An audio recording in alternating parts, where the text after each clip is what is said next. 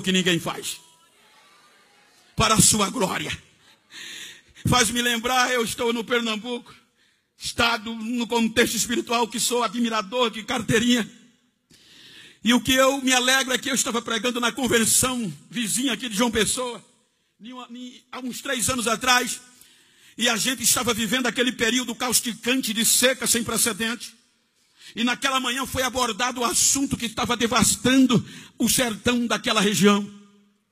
Aí o pastor naquela manhã fez menção e nos levar a um desafio maior, provocar a Deus e levar o contexto mais de oração. Aí houve um questionamento, mas pastor, ele disse: Deixa eu dizer uma coisa a vocês. Deus gosta de desafios. Ele disse: Há anos passados, aí citou o vosso estado, no estado do Pernambuco, teve uma seca pior do que essa. E numa igrejinha do interior, o pastor terminou o culto de domingo e olhou para a igreja, os irmãos cabisbaixo, o gado morrendo, a agricultura é, é, secando. Aí ele levantou um desafio e perguntou: Quem de vós quer ver a chuva cair na terra? Os irmãos se assustaram, era quase que impossível. Aí ele disse: Quem quer passar 30 dias de oração comigo ininterrupto? Vou fechar todos os cultos, vai ser só oração de sete às nove. E depois do terminar a campanha, 30 dias, se Deus não manda chuva, eu saio desta cidade, fecho a porta da igreja e nunca mais eu volto. Aí os irmãos disseram, agora vai. Vamos acompanhá-lo. Aí ele marcou, amém, pastor. Amanhã, segunda-feira, começa a campanha. Ei.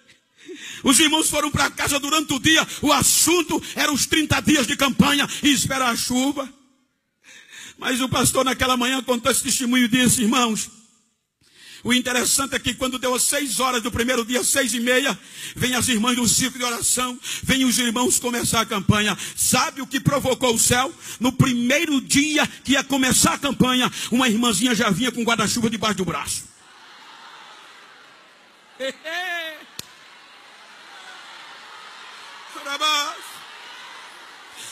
Aí disseram, a senhora está doida, vai começar a campanha, é são 30 dias. Ela disse, eu conheço o meu Deus, o meu Deus não rejeita desafio.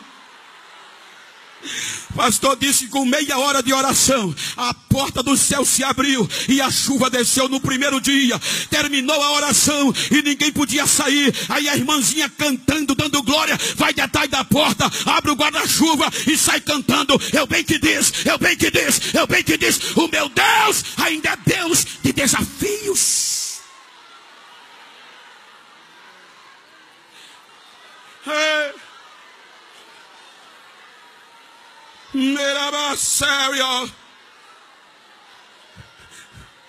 Deus ainda é Deus das coisas loucas.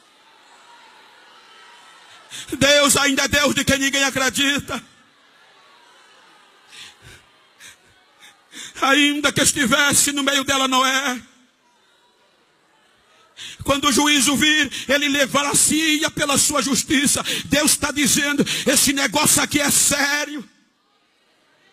E Jesus faz menção quando fala do contexto de juízo e da sua volta. Mateus 24, ele diz: Assim como foi nos dias de Noé, assim será a volta do filho do homem. Lá comiam, bebiam, casavam-se, se davam em casamento, até que o dilúvio caiu e consumiu a todos.